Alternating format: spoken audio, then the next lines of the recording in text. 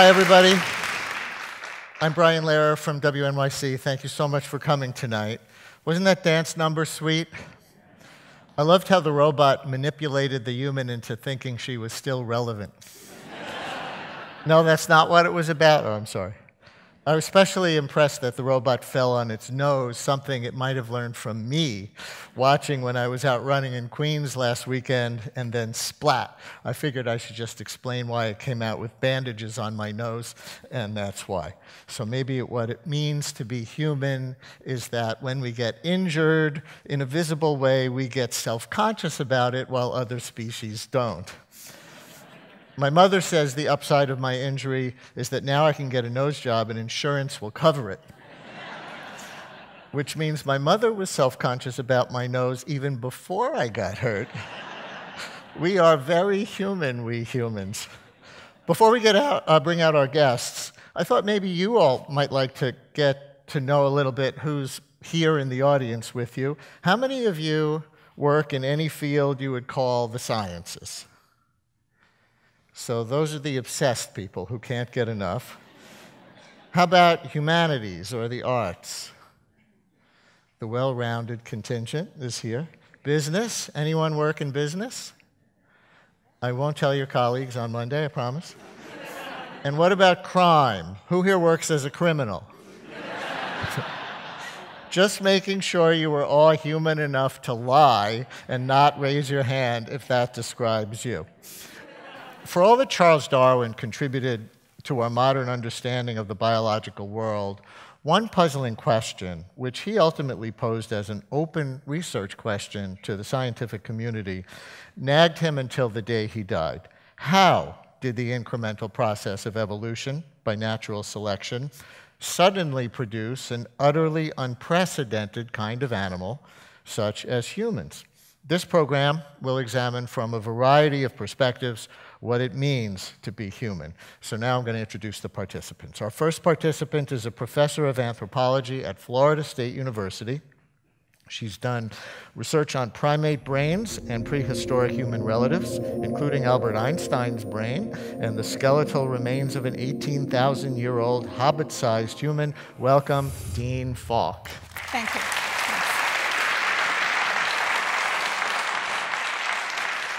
Our our next participant is a professor of psychology at Harvard University. He is an experimental psychologist, cognitive scientist, linguist, and one of the foremost writers on language, mind, and human nature, Steven Pinker.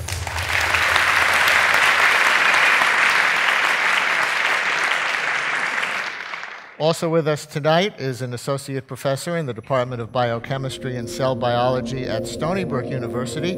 He has worked on the human uniqueness problem for over 25 years, and he co authored the book Death from a Distance and the Birth of a Humane Universe. Welcome, Paul Bingham. Thank you. And our final participant, a paleoanthropologist, researcher, and explorer, his explorations into human origins on the African continent, Asia, and Micronesia have resulted in many new discoveries, including the most complete early hominid fossils ever discovered. Welcome, Lee Berger.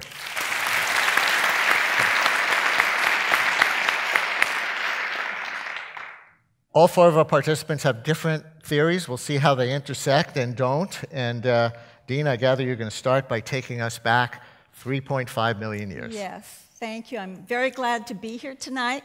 I do want to begin 3.5 million years ago and look initially at what archaeologists have found in the fossil record and the, uh, that relates to material culture and technology. And if you go to the left there, that little hominin is 3.3 million years old. It's from Ethiopia. And you might recognize the fellow on the right. He died in 1955. And what I'd like you to notice is the material culture in between. 3.3 million years ago, we have the first uh, known stone tools that were deliberately made. And for a long time after that, what you have in the material record are rocks. They get better, they get smaller and more modified. But as you come up to the present, uh, you get your wonderful art much more recently, and then today, you know, we have dancing robots. so the question is tonight how did we get from the rocks to the dancing robots? And I think it was to do with brain evolution. And so, what I'd like you to notice now is we're going to see brain size coming in across here. So brain size got bigger, and as it got bigger, it became modified and reorganized and rewired. And we know that by comparing brains of humans with non human primates. We know the size got bigger by looking at fossils. Now, ever since at least Darwin, people have wondered well, who's responsible and what was responsible for this remarkable evolution? And there have been a number of theories, a few of which are very well known. One is um, this is from the 1960s Man the Hunter. And it's still in textbooks, it's been very, very dominant. But within a decade, there was another uh, alternative proposed by some of my colleagues, who, it will not surprise you, were many of them women. women the Gatherer. And there's no doubt that hunting and gathering were extraordinarily important during our evolution because that's how our ancestors made their living up until about 12,000 years ago. So for millions of years they did this. But I don't think hunting and gathering were the thing that moved along brain evolution. And so tonight I'm going to propose someone else. Baby the trendsetter. And specifically, I'd like to suggest three trends in chronological order that happen through natural selection on infants, very young infants, even fetuses. And uh, to do that, we have to go back another three and a half million years, even earlier, and look at the origins of walking on two legs, or bipedalism. And so, what we have here is a nifty animation of a quadruped becoming bipedal and the colored part is the pelvis. That becomes modified. It becomes essentially a constricted bowl. And millions of years after this, that will be a problem for giving birth. It's called the obstetric dilemma, but we won't see that problem this far back in time. But let's play this again and look at the feet. So, our ancestors, maybe as long ago as seven million years, became upright walkers, and it completely modified the body and it changed posture and locomotion. That foot ceased to be a grasping instrument and became a weight bearing instrument. And this is where we get the first trend of the three trends in baby, uh, the trendsetter, which is a trend for being a late bloomer. So to look at these trends, we compare, we look in the fossil record, but then we compare living humans with living chimpanzees. And so you have the direct and the comparative evidence. And we know if you um, see all of the monkeys and the apes, the children or the infants grow up very quickly. They uh, develop all the milestones, can hold up their head, can crawl, eventually stand very quickly. Human infants are slow. They're late bloomers, they're slow developers. And one of the most dramatic things that happened as a result of that is that, unlike all of the other higher primates, our infants lost the ability to cling 24 7 to their mothers. The monkeys and apes, those babies are born helpless, but very soon in their life, they can hang on to their infants.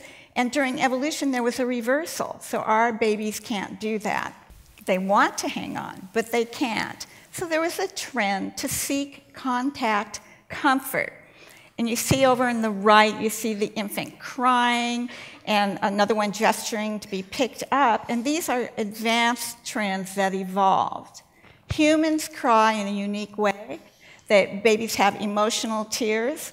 And a lot of this, studies have shown, is because they want the contact comfort with their caretakers, with their mothers.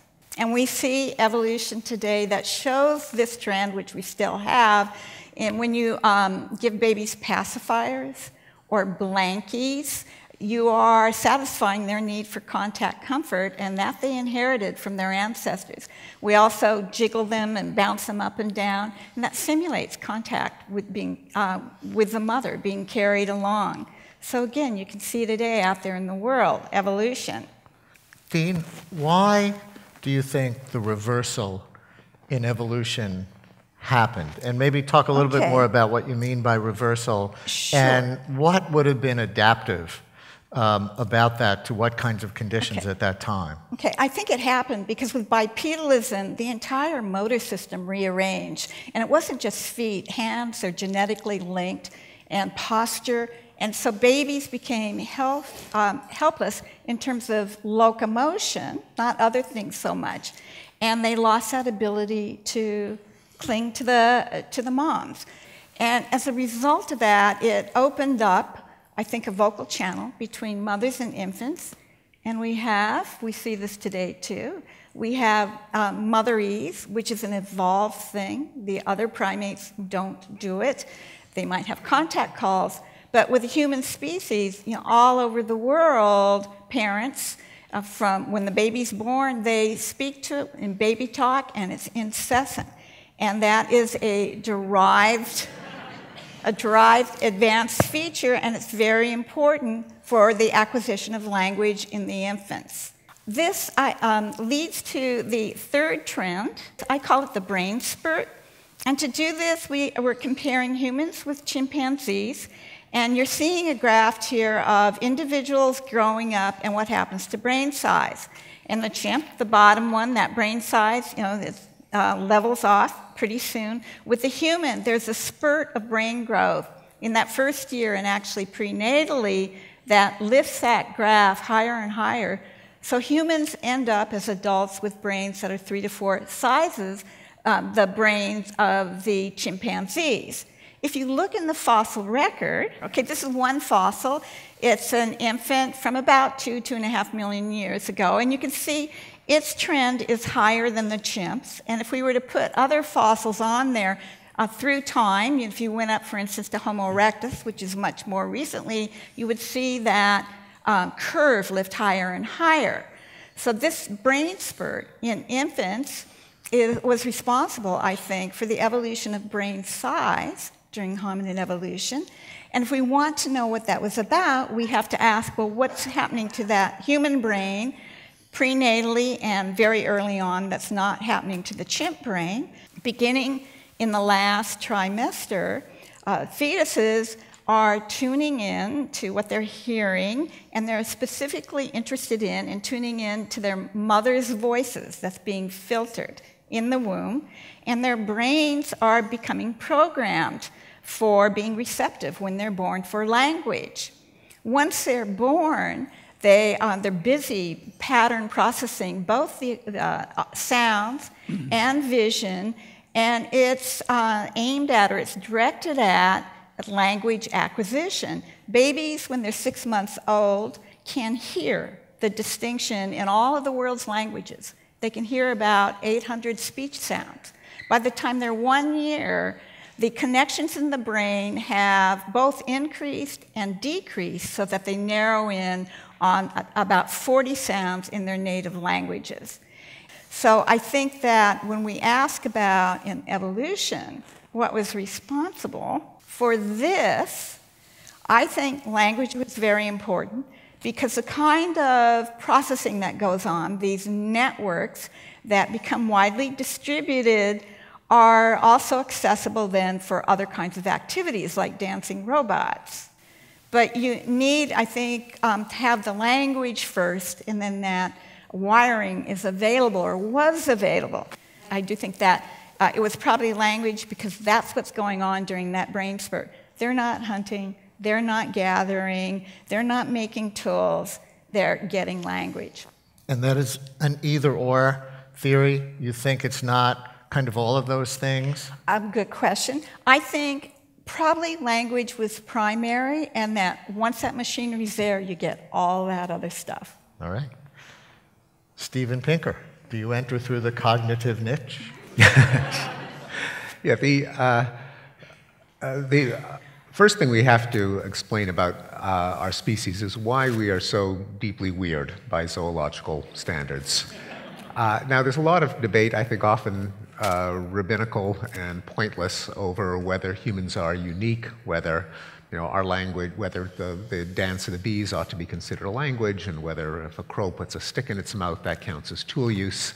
Um, and I, I, usually stay away from debates over definitions or, or Rubicons or dividing lines. But if you just look at the uh, extent to which humans do humanly uh, unusual things and the collection of them that you all find in one species, you see that we're, uh, we're very unusual.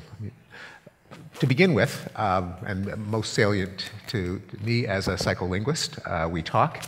I mean, here we are, we're going to sit in this room for a couple of hours just listening to each other make noise as we exhale. Uh, there are very, uh, very few species that would do that. And language has universally a number of, uh, of, rather remarkable properties. We can use arbitrary signs to refer to tens of thousands of objects and actions and places in the world, and we can combine them grammatically so that the uh, meaning of the combination can be computed from the meanings of the individual signs and that the way they're, they're arranged. Uh, but I don't think that language is the only thing that differentiates us from other species. I think if you just grafted language onto a, a chimp, it wouldn't have anything particularly interesting to say. Uh, and uh, so I, I, think that, that um, language has to be understood in the context of other uh, weird traits of Homo sapiens. Another one is, obvious one, is our reliance on, on uh, artifacts and technology and tools. Um, look around, everything that we are now seeing was made by an ensemble of humans. There's nothing that's uh, in its natural state in this room. And again, universally, humans uh, not only make and use tools, but they make a, and use a variety of them. Each tool is made out of a variety of parts, requires a laborious process of manufacture, and most important, we, we uh, co-evolved with our tools. Uh, if you uh, we, we depend on them for our survival. You take away the technology of uh, any human group, and, uh, and it would quickly starve. The third uh, zoologically unusual trait of humans is that we uh, cooperate with people who aren't related to us, to us. If you were to put several hundred chimpanzees into a room like this, half of them male, uh, then you know, a riot would break out. But, but humans do, in addition to the tens of thousands of people that had to cooperate to make all of the things that we see. We sit quietly in order to achieve some, something that benefits all of us. And again, it's very hard to see examples of cooperation for mutual benefit among uh, unrelated organisms. So how, how do we explain would, it? Would that part, if I could ask, would that yeah. part not be also found in things like bees, to use your example, or bees ant, are, oh, no, ant bees colonies? are related.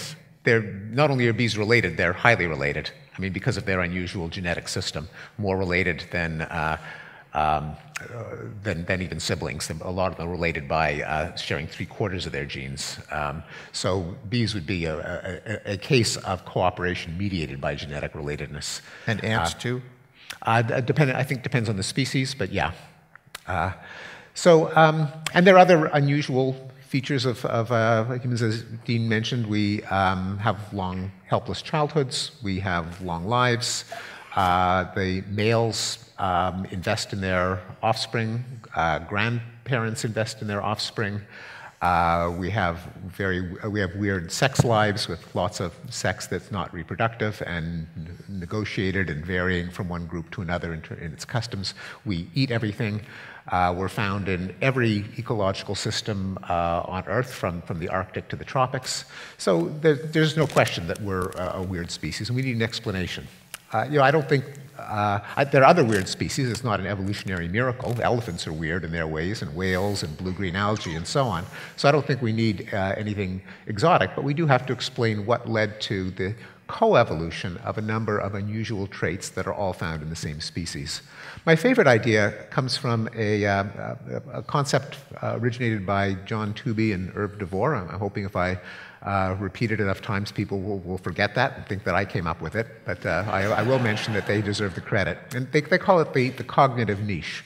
And it, starts from the observation, the, the commonplace observation, that in evolution, uh, organisms evolve at each other's expense. So, with the exception of fruit, every food item for every organism is the body part of some other organism, which would just as soon keep that body part for itself. And so, uh, all organisms need defenses against being eaten. Uh, shells, weapons, poisons, stealth, camouflage. In the case of plants, uh, chemical warfare, irritants and poisons and bitter tasting substances, which sets the stage for uh, offensive weaponry to defeat the defenses that organisms have against uh, uh, being eaten, more acute perceptual systems, speed, stealth, uh, weapons, in a, kind of coevolutionary arms race.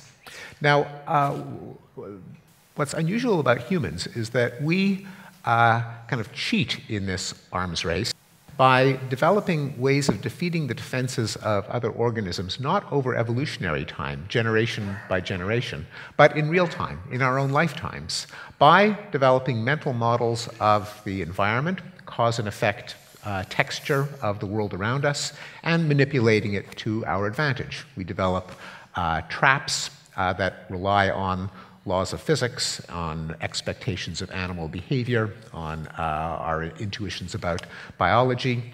We extract poisons from uh, one organism and use them against uh, another. We defeat the defenses of plants by boiling or fermenting or peeling or cooking, uh, and, and therefore enjoy uh, plant nutrients. And all of it done faster than other organisms can develop uh, defenses in their turn because we do it in our heads and by exchanging ideas with one another, uh, which is why whenever humans enter a, a, habitat, the other species drop like flies. Uh, if, if, you look up, talking about definitions of our species, if you look up man in uh, Ambrose Bierce's The Devil's Dictionary, uh, it, the definition um, uh, indicates that our chief occupation is the extermination of other species and each other. Uh, however, we uh, reproduce with such insistent rapidity as to infest the entire habitable Earth and Canada. Uh, so that, I think, kind of cap- captures our species. And I think it explains the, why the, that entire complex of zoologically unusual traits is found in the same species, because each one of them multiplies the value of the others. Uh, most obviously, there's technology, which depends on our uh, intuitive understanding of the environment, what breaks, what bends, what uh, falls, what rolls, uh, and that depends on our uh, intuitions of uh, physics, of forces and objects and substances, our intuitions of living things, of organisms that have essences that are responsible for their powers. I think it, it uh, accounts for our language, that if we have accumulated technological know-how, that gives us something to talk about, something to, uh, to share. And it means that we can profit. We don't have to, as they say, reinvent the wheel, but we can profit from all of the uh, strokes of genius and trial and error and um, uh, accumulated wisdom of other members of our species, but only if we're co- cooperating with them. Uh, that is, uh, only if we uh, have something to offer in the expectation of a return uh, farther down the line. And of course, language uh, is also the medium by which we can uh, negotiate um, uh, reciprocal exchanges. We don't just have to exchange you know, meat for fruit or, or groom one, I groom you, then you groom, groom me with language, we can say, I'll do you this favor now, but you know, as with the, the, the opening scene of The Godfather, uh, the, uh, uh, there, there, there will be a day, and that day may never come, where I will ask a favor of you, and I expect you to remember what I did uh, for you today, something that you can only do with language. And the thing about language is that it exchanges a, uh, an unusual commodity, information. And that's unlike other trade goods because it can be uh, multiplied at virtually no cost. If I give you a, uh, uh, a fish, I no longer have the fish. But if I teach you how to fish, then it's not as if I'm now amnesic for the ability to, to fish. We both can have it. I've made a copy of it. And information can exist in any number of copies which makes it a perfect trade good because the theoreticians who try to explain the evolution of, of a reciprocal altruism say that it's powered by the ability to confer a large benefit to someone else at a small cost to oneself, which is what makes the uh, reciprocal exchange mutually benef- beneficial. Information has that property. Language is an efficient way of, ex- of, exchanging information if you're on speaking terms. So all three of them, I think, uh, reinforce uh, the other two. So it sounds like you're describing some of the characteristics of human uniqueness. How much would you say the cognitive niche might come from Baby the Trendsetter? that Dean was talking about. How much do you overlap in this, and how much are they mutually exclusive? Yeah, I, I think there is overlap. I, I, I think I would have less confidence in singling out one part of this complex as the, the, the, first domino, but, but I do think they all reinforce each other. And certainly our long, you can think of our, why, why does our species have this long, helpless childhood? Well, it's uh, in part, it's an apprenticeship. We depend more than other species on acquired know-how. Uh, before we strike out on our own reproductive career, there's a lot to learn. And so we are helpless for a long period of time just to uh, acquire in our lifetimes the kind of survival skills that uh, other animals are more likely to have pre programmed. Thank you very much, Steven Pinker. Um, so, Paul Bingham, tell me how a molecular biologist doing research into the treatment of cancer got involved in this area, or as you put it to me backstage, what's a nice molecular biologist like you doing in a place like this? I actually trained with a generation of people who uh, uh, developed contemporary molecular biology Matt Meselson, Jim Watson, Francis Crick. And my scientific grandfather was Linus Pauling. And, and from those people, I learned the importance of really good theory, but also the importance of waiting to attack a question until it was within reach. But what happened in the late, mm, around 1980s, we began to see where the answer to the human uniqueness question might lie.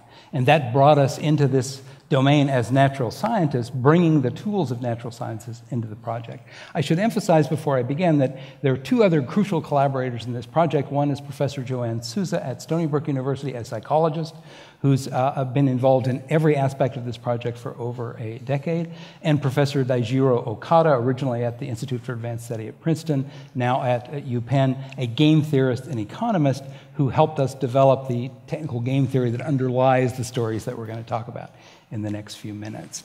So, what we set out to do was to develop what's called a parsimonious theory in the jargon of the natural sciences. That's a theory that's simple on the one hand, and yet predicts a lot in detail.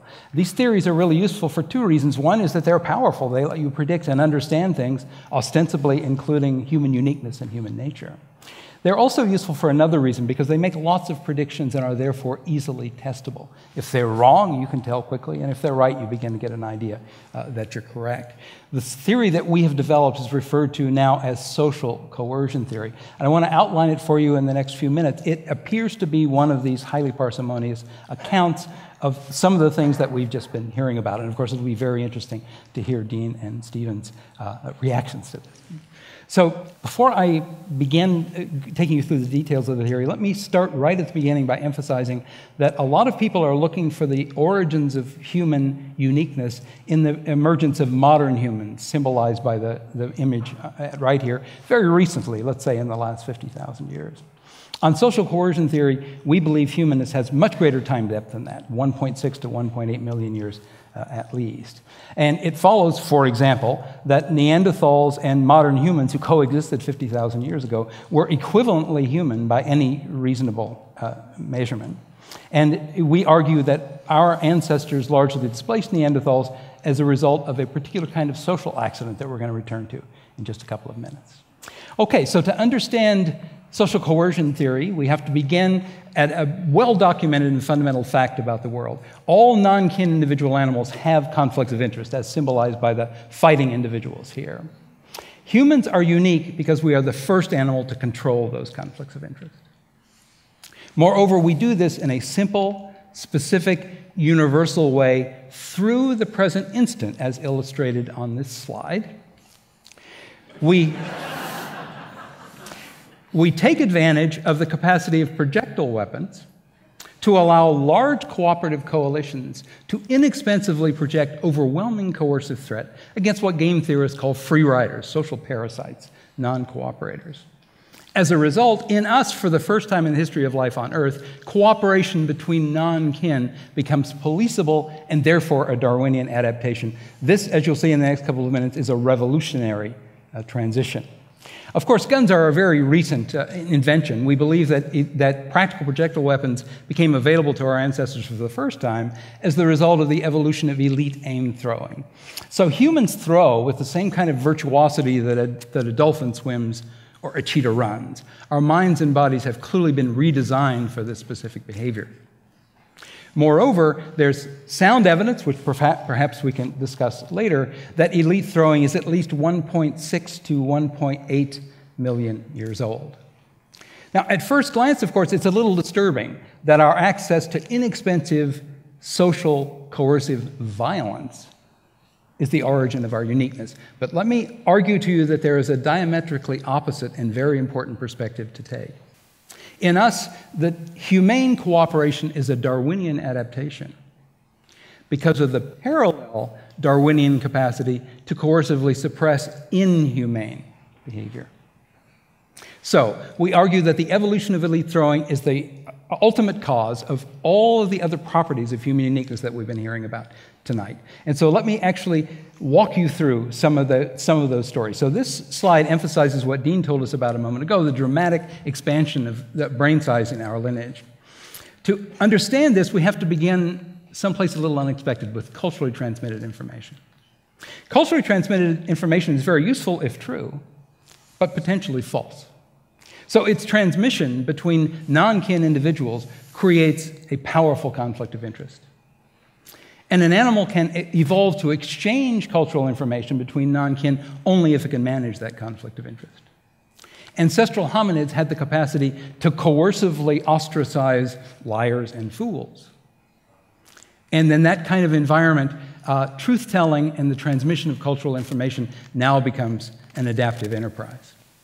As a result of this massively expanded stream of cultural information, we are, of course, obviously the cultural information, uh, the cultural animal, as Steven mentioned a moment ago. But this creates an adaptive benefit to expanding the expensive neural tissue that stores and processes that all, all that information, giving us brain expansion. Moreover, we expect the brain to be redesigned systematically to deal with all this information in diverse ways, including the evolution of elite linguistic behavior, the quintessential uh, uh, uh, uh talent for transmitting information. Moreover, we expect us, of course, to be the pedagogical animal, to spend all of the time that we've talked about absorbing this information. We also predict that we should be the economic animal. We have access to enormous amounts of information, but we can't know everything. So, in fact, there's enormous individual adaptive benefit in exchanging the fruits of individually specialized culturally transmitted expertise that we hold with others who hold different expertise. Of course, this creates a conflict of interest problem. The exchange of valuable things creates a conflict of interest problem. And only in an animal that can coercively enforce some form of property law can the then can economic behavior emerge. Our status as the economic animal is going to be very important in a few minutes as we understand how we got to be so ascendant over the last uh, few thousand years. We'll call that back in just a moment.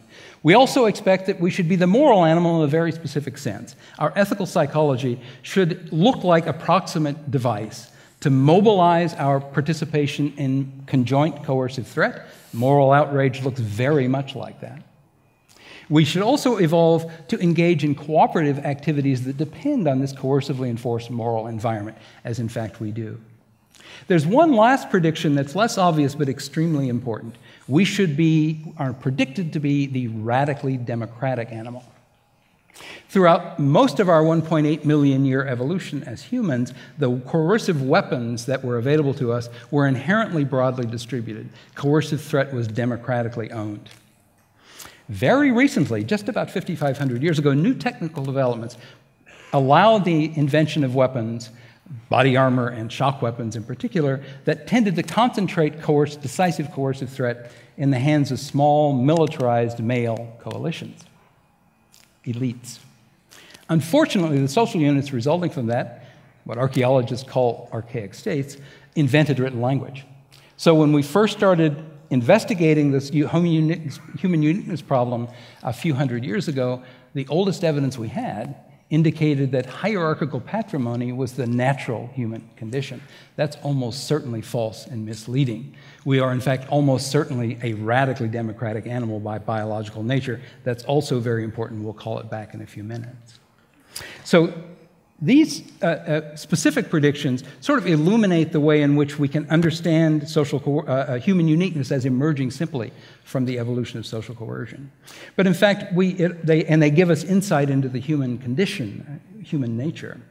But we're more confident than just that, that the theory is likely to be right, because it spins out the first broadly general theory of history that we've ever had. And of course, a good theory of history is valuable because it's also a theory of the present and the future if it's right. So I want.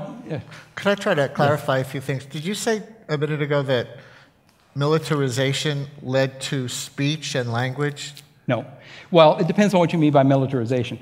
Democratized coercive threat, ancient, 1.6 to 1.8 million years ago, allowed the emergence of kinship independent social cooperation with all of its features, including the expansion of culturally transmitted information, the evolution of language to transmit that information. And if we are coercive animals, yes.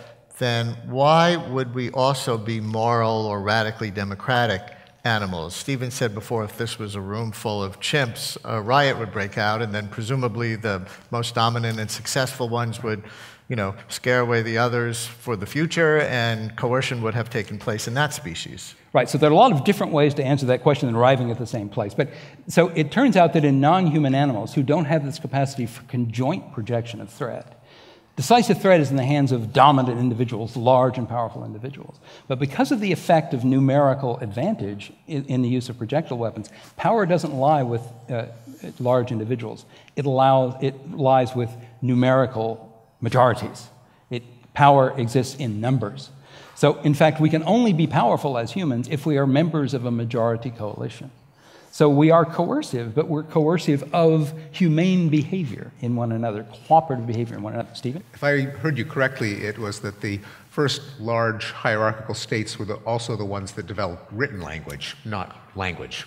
I'm sorry, I, I, should have hammered the word written. You're yeah. right. but that turns out to be really important, right? Because history is the lie made up by the winner. So, in, in point of fact, the, in point of fact, this written history appeared to present uh, elite patrimony, patriarchy, as the natural condition. And we're arguing that that is most emphatically very unlikely to be true. And if humans learn to control conflict of interest, how do you explain Albany? Sorry, I couldn't resist. Well, Steven mentioned the importance of arms races, evolutionary arms races. So, our control of the conflict of interest problem is constantly being subverted by uh, interest groups, and it's a, it's a constant back and forth in our ability to manage that. So, uh, in fact, as I alluded to a moment ago, we also get a, a, theory of history that emerges from social coercion theory. And let me take the last couple of minutes to outline that for you because it's extraordinarily important, we believe. So, human adaptive sophistication is actually no longer really uh, limited by our individual intelligence. It's limited by the scale in which we can engage in economic cooperation, the number of specialists within our cooperative groups. However, the size of our social cooperative groups is absolutely limited, inevitably, by the scale on which we can police the conflict of interest problem. Thus, our human history is predicted to look and does look as follows. Humans acquire the scale of cooperation permitted by the coercive technologies they possess, and then acquire the adaptive sophistication associated with that scale, and then remain at that adaptive sophistication sometimes for very long periods of time. However, for one reason or another, ultimately a new weapon is invented, allowing an expanded scale of policing of social cooperation, and a new adaptive revolution rapidly ensues. And in fact, this happens over and over, has happened over and over again in our history. So I alluded before to the social accident of the uh, uh, triumph of our modern ancestors over Neanderthals. There's good reason to believe that that is the uh, result of modern humans inventing a weapon called the atlatl, or the spear thrower, which substantially expanded their, extended their coercive range, expanded their social cooperation, and then they rolled over uh, uh, Neanderthals for the same reason that European states rolled over Neolithic Native Americans, not because they were genetically superior, but because the scale of their social cooperation was greater. This image is intended to stand in for the agricultural revolutions, another set of adaptive revolutions. There's very good evidence in Eurasia, in particular, that the invention of the bow gradually spreads across Eurasia, and in its wake, uh, numerous agricultural revolutions ensue. In the interest of time, let me skip the archaic state, which we already talked about a moment ago, and proceed directly to the modern state that you and I think of as the natural condition. With the invention and refinement of gunpowder weaponry, it became possible to stably consolidate the state initially and then ultimately to redistribute access to coercive threat democratically. This creates now something fundamentally new in human history a social unit that practices the ancient human art of democratic cooperation, but does so on the massive new scale of the state. We predict and observe an adaptive revolution. So, for example, you and I are about 100 times richer than our medieval peasant ancestors of just a couple of hundred years ago. And indeed, the scientific revolution unfolds, uh, the industrial revolution unfolds at this same time. In just the last couple of generations, in living memory, we have for the first time acquired the capacity to project coercive threat on a planetary scale. As a result of this development, we now police in a kind of rough way, in the ancient ancestral human way, global cooperation. The threat of world war is predictably receding uh, as a result. Thus, we are now irrevocably joined in an enormous coalition of 7 billion people and growing. The opportunities for human enrichment at this scale are enormous, as are the dangers. So, for example, we now have global financial markets that can empower massive projects, but are highly vulnerable to elite manipulation and catastrophic instability. We can also prosecute science on a global scale, represented here by the Hubble telescope, and are therefore peeling the layers off the physical universe at a gallop. The challenge, of course, is to use all of this new information sustainably and adaptively. We are now locked irrevocably in an exponentially accelerating race between our knowledge and our wisdom. I think an opinion that probably we would all share on this stage is that one of the single most important pieces of knowledge we need in order to have the wisdom to build a humane future for all of the world's descendants is to understand our evolutionary origins and its implications for our behavior. All of us on this stage and the communities of which we are members are working assiduously to try to provide that knowledge. Thank Do you, you come up with a percentage chance that humans are doomed to destroy ourselves through our wisdom being right.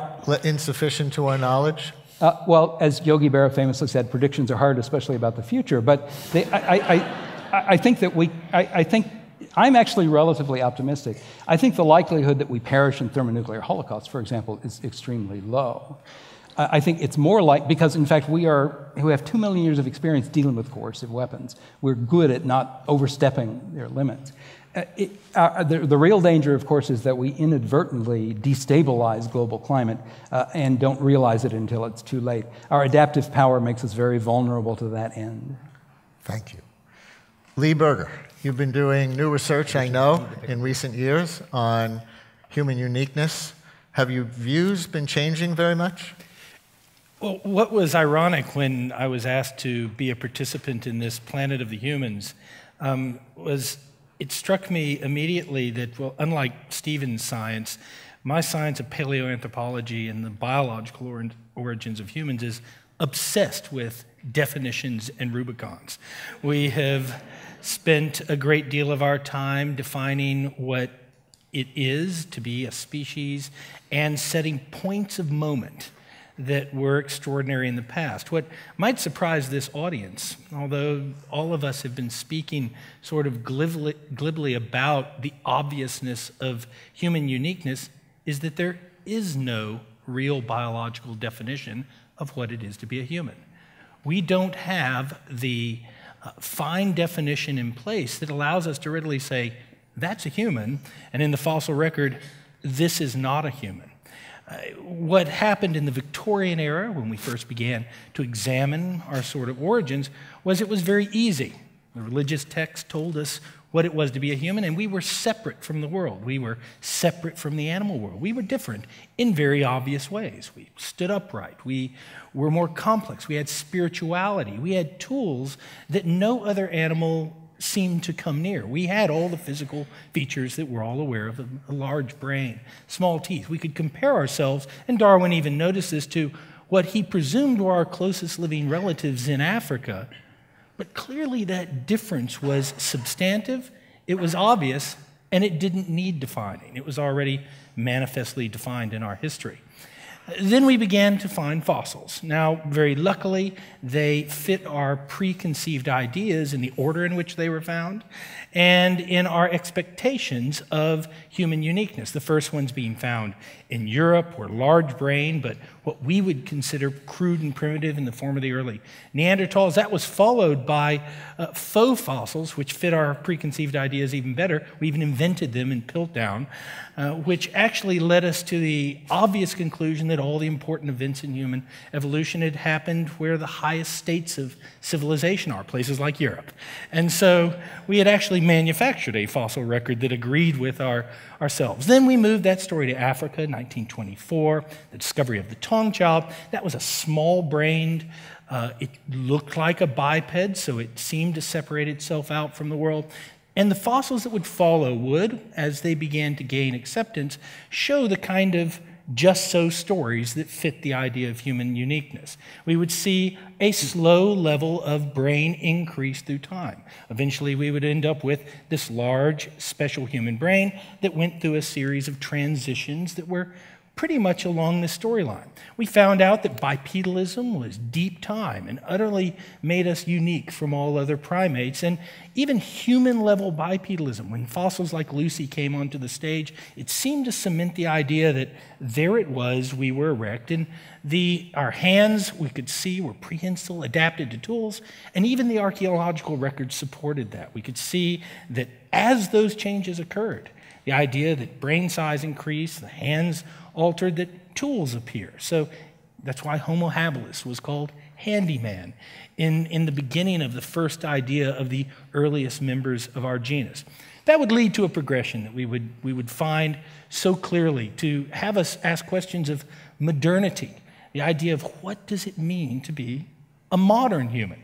In that very definition, saying that, well, there's something different between those of us today and those things that might have looked like us but clearly aren't us. It's that sort of uniqueness that everyone alludes to. Right now, uh, if you look at textbooks or the archaeological record, it'll tell you that it's accompanied by some things that are happening probably between 100 and 200,000 years ago, closer to 100 than 200,000. And that fits really well with genetic evidence, which is arguing that all of our, we all share very narrow genetic identity appearing just about at that time period. That's tied to things like uh, adornment, the first art that we're now seeing in places like where I work in southern Africa, that appears to be tied to perhaps humans seeing themselves as special in nature. And that might manifest as burial of the dead, etc., leading up to what is a non definition of humans. That is obvious. It's obvious when we see one. We just don't know how to put all that together. And as Steven and I were talking before this, discussion, maybe it's just all of those. But the problem with that is that's really moving right back to where we were in the Victorian era. We can see it, but we can't test it. We can't formulate a hypothesis to test it. But we need that hypothesis because that neat little story that I was just telling, that we kind of saw through a broad timeline of a few million years as, as, we, as we delivered it is falling apart. Those sacred cows are dying, particularly in the last 15 years, as what was a incredibly fragmentary, small fossil record. Paleoanthropology is one of the unusual sciences that, uh, up until recently, we could probably claim that we had more scientists than we had objects to study. And that probably tells you more about the people who study this sort of thing than it does about the paucity of, of, of the record. But as the fossil record has exploded, and quite literally, the numbers are doubling on almost a yearly basis now on the continent of Africa as we begin to expand our exploration programs. Those sacred cows are dying. Just recently, with Ardipithecus ramidus, we realized that, that bipedalism may have other definitions than this sort of simplified version that we see here of elongated legs and, and the changes in structure to our pelvis and our foot, and that words like facultative bipedalism come into the record.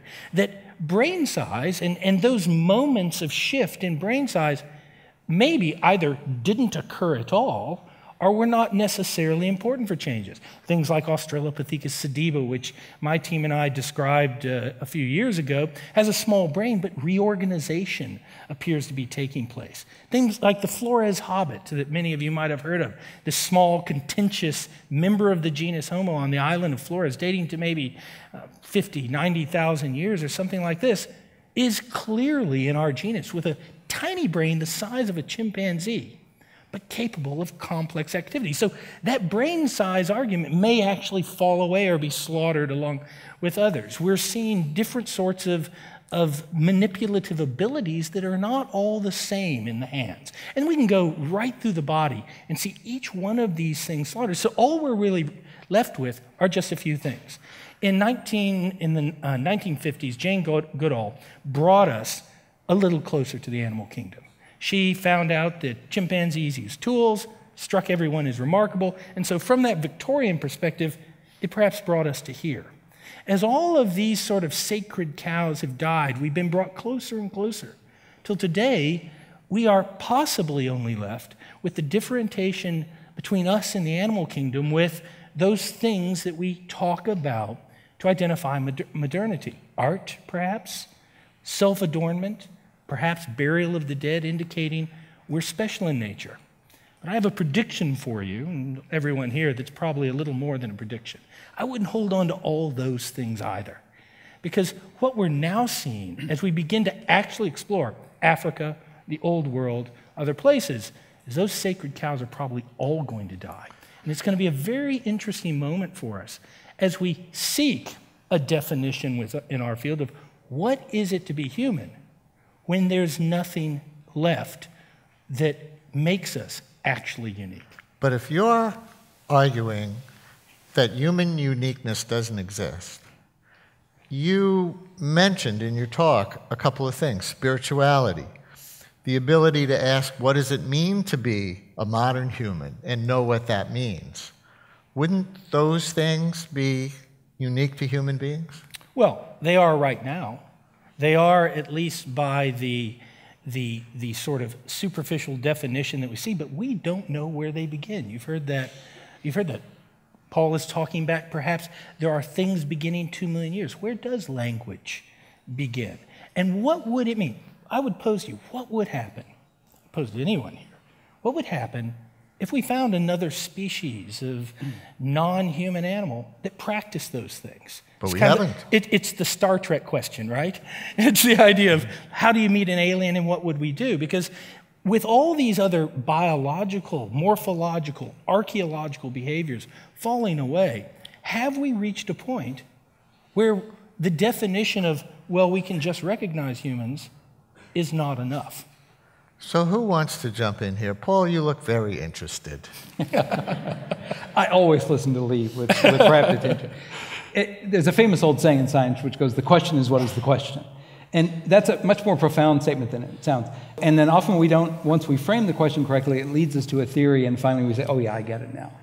So obviously, we are of the view that we can define human uniqueness, and it all emerges as a consequence of the single trick we have cooperation independently of kinship. And so, a, a, counter, I guess, the volley back to Lee is do we see other animals that engage in large scale cooperation independently of kinship? I believe the answer is no. We can also ask if we're not unique, why do animals live in our zoos and we don't live in theirs? Right? I mean, I think, I think there's a very there's, there are very specific reasons to believe that uniqueness is not an empty and illusory concept. The challenge is understanding what it might actually be. If I could go back at the barrage of the person using projectile weapons. um, it's interesting that uh, Paul's sort of giving a very loose definition of humans. He's carrying it back, uh, let's say rather subjectively, to some levels of creature where we have as yet not found human morphology. By pushing those, that humanness back to nearly two million years, you're having to grab into morphologies that are near human, perhaps with the rise of Homo erectus or things like that. But they're not, at least by a present biological definition. That biology exceeds all of modern human variation.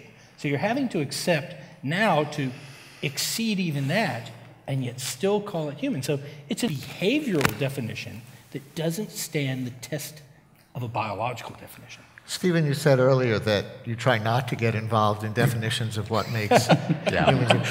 Do you find And I, this and I study words for a living, and I actually work for a dictionary. Yeah, so.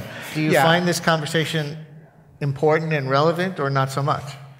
For me, not so much, for a couple of reasons. One of them is that in general, uh, they generally don't have definitions. They point to things, and then your best scientific theory indicates what the boundaries of that class are, uh, and that fuzzy borders and uh, perhaps a lack of a clear definition are, are the rule rather than the exception.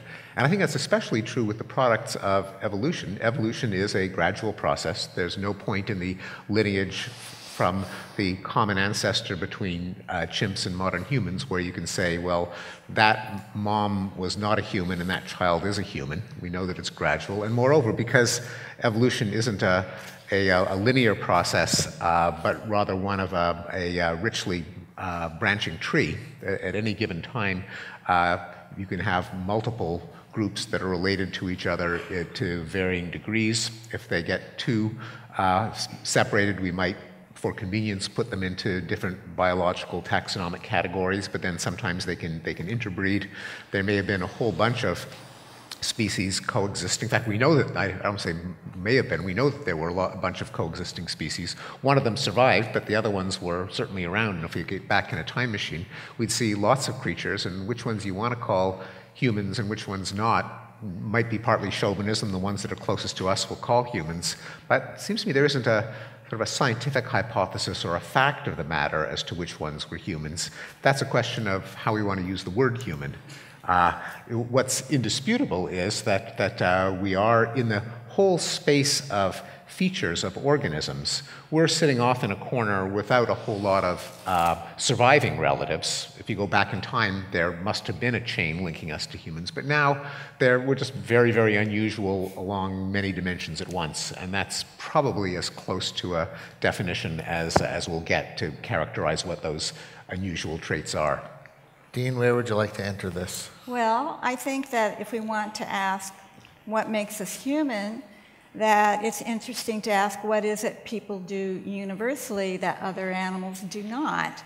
So we can look at humans today and we can identify some things, one of which is grammatical language, um, the motherese.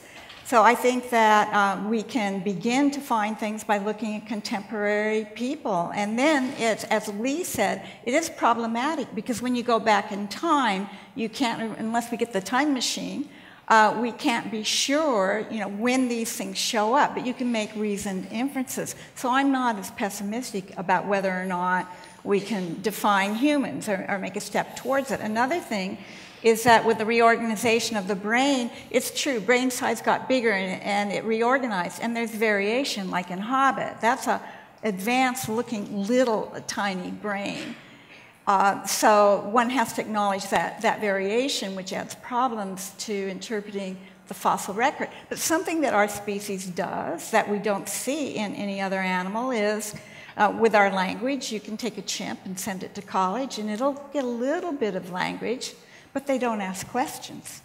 So the human species is a curious one.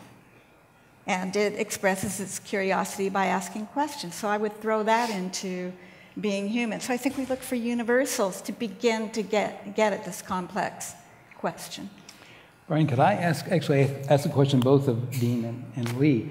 Uh, so there have been various claims, I think most recently by Fred Spoor and Christopher Dean, that there may be multiple Homo species existing contemporaneously, perhaps anchored at 2.3 million or earlier. In other words, suggesting the possibility of an adaptive radiation of Homo. Do you guys believe that? And, and can you comment on that? You want that first, me? well, in recent years, the concept of hominid evolution has become bushier. Uh, part of the problem is that you have a lot of workers out there hunting for hominids, and when they find them, they often name it a new species and say, aha, this is the one that was on the line leading to Homo sapiens, forget those other fossils. And you can almost bank on that, bet on that. So the picture is um, complex, and we've just having this week, within the last week, another example of a new species named. And the question comes down to how, how do you interpret the variation in your fossils? And you can be a lumper or a splitter. So it's not an easy question. Yeah. Uh, but I'm not an explorer who's actually discovered these things. Lee will probably have something. Or guiltily named new species. I wasn't referring to you necessarily. let me let me though say something that might surprise everyone. If you think human or our species is hard to define, there's absolutely no definition of a genus. So it's actually irrelevant on what we're calling those fuzzy transitions between two. And the reason there's a problem is we haven't defined what it is to define parameters. I would go back to it seems to me like some of the suggestions are well let's let's just eliminate everything that isn't a human and whatever is left is good enough for the definition. But it's not. Because we can't get into these answers to these deep questions. What is driving all these critical behavioral issues? Is it babies? Is it throwing rocks at babies? Is it, is it speaking badly about babies that you're throwing rocks at? we need to box that off so we can understand are these driving or how will we recognize parallelisms, homoplasy? How do we know those have anything to do with the origin of our species? Or we're just not missing the picture from a bad archaeological and fossil record. Let me emphasize, though, that it's important not to surrender to a counsel of too much uh, pessimism. That is, the history of science is that things are pretty fuzzy at the beginning, but as you, as you start to make progress, there's a reciprocal dance, reinforcing dance between theory and empirical That's evidence right. that starts to bring things into sharp focus. I think what we, we all agree that that will ultimately Yes. happen here. I think the only potential disagreement is how close we are to that moment. We have some questions coming in from all over the world. Amruta from Melbourne asks, why did the development of written language cause humans to present the natural order of the species as patriarchal? I think that's for you, Paul. Right, because the guys who wrote that written language were e- elite males, Roman legionnaires, uh, Aztec warriors. These were individuals who were writing the story they thought was true. That is, that they were ordained by God to rule all humans. Does anyone else have a different perspective on that? They were accountants. Okay, go ahead. They were accountants. Uh, There- there was a lot of bookkeeping with trade, which was at the origin also Well, that's the origin of written language, right. but that's not the question. Why did written language reflect patriarchy? That was the question. I The was answering. accountants were males. Well, could, could, let's not get into whether men are better at math. Um, could, could, could I ask a question, though, within that? There are pictographic languages that are, are written, and these perhaps go back into deep time and are perhaps related to storytelling in some ways. And how do you know men did that? So that's a really profound question. Whether the things we, cave drawings, for example, might actually be pictographic language. I was referring to written language as formalized document generation. In that sense, we know that that's fairly recent, 5,500 years or so. But yes, that, that's a profound and interesting question. Okay. Oxine from Toronto asks, what would you have to say about studies on brain size decreasing with domestication and larger brains being linked to aggression? Who are you all? or maybe I- you, Lee, because you didn't buy the larger brains lead to human uniqueness You and have thought the theory, world's right? expert on neural evolutionary anatomy here. Brains did peak with Neanderthals in terms of size. So then they subsided a little bit and they've leveled out to where they are now. And it's unlikely that they're going to get bigger because of the difficulties to do with childbirth, the obstetric dilemma. So the ongoing evolution, and there will be, I think there is, has to do with the reorganization of the brain. In terms of the aggression in brain size, I'm not quite sure where the questioner is coming from. Um, males do in primates, including the human primate, on average have a little bit bigger brain. So I don't know if this was a question about whether or not males are more aggressive than females, but uh, The question was larger brains being linked to, to aggression. Do you accept I don't the know premise? That they are. You don't no, know that not they are. necessarily. No. no. I would just, uh, I mean, I, I'd sort of re-emphasize what was alluded to by both Steven and Paul and, and, and, and Dean, in fact, that, that, you know, it is probably fair to say, fairly dramatically, that we are the most peaceful, at least mammal, that has ever lived in the history of this planet. Um, don't mistake. I'll see you Audience- outside a afterwards. Question from the audience. the, the, the, the fact is, is that I think it is a mistake to emphasize uh, the sort of application of technology and our ability to slaughter lots of people, perhaps, with our willingness to do so in society's punishment for those behaviors. When we feminized the males, we reduced our canine size. These are all markers, effectively, of, of lowering intraspecific violence, and particularly among males, but across a whole community, and then punishing those that step out of that line, just to, to elaborate a little more clearly on that. I, Steven said it correctly. Not only if you put our closest living relative, 50% of, uh, of chimpanzees in an appropriate sized room like this with breeding age males and females who are unrelated, that you would have chaos, you'd have a bloodbath. Right. And that's true of every mammal. Let me emphasize that both Josh Goldstein and Steve Pinker have written eloquently about the fact that not only are we the most peaceful of all mammals, arguably maybe a low bar, but that we're in fact, but, but in fact we're getting dramatically more peaceful over time. Mm-hmm. I highly recommend both of these remarkable books on that subject. Thanks. Dean? Well, now, I watch the news in the evening and read the newspapers in the morning, and quite often there are reports of people who, for reasons to do with their beliefs, are suicide uh, bombers, that kind of thing. And so my question is, and it seems fairly prevalent, my question is what happens if some of these weapons that we've created because of our big brains get into the hands of the wrong person? So I'm not as convinced that everything's hunky dory in terms of our being peaceful today. I think it's a serious potential problem. Yeah. I, I'm, not I'm, I'm not sure that we're the, that uh, when we emerged as a species, we were the, the most peaceful. Um, in terms of the numbers that I'm aware of from Richard Wrangham and Michael Wilson, rates of um, lethal violence in uh, pre-state people uh, peoples were comparable to those of common chimpanzees, of wolves, of stags. I don't know how many species they surveyed, but just the percentage of males that are killed by other males of the same species are kind of in the same ballpark. But I think that they have been coming down, uh, and uh, because some of our evolved capabilities, including uh, those for cooperation and for uh, punishing aggressors, uh, might have outstripped other parts of human nature, namely both the ability and tendency to engage in exploitative violence and the ability and tendency to engage in moralistic violence. And a lot of violence is indeed uh, punitive. Uh, it's morally driven. You don't let wrongdoers get away with what you think of as some infraction, and that licenses vast amounts of violence, which historically, although not biologically, has been uh, in, in decline, or at least so I argue. I'm just thinking the people in the audience may be wondering are we really more peaceful than horses or dolphins? Those are Oh, mammals. dolphins right? are uh, dolphins are, are nasty. I mean, They they, engage Yeah, in dolphins gang- and, and, and, They- and, and Yeah. horses too at the right time. Yeah. there was a beautiful picture of a couple of them fighting there.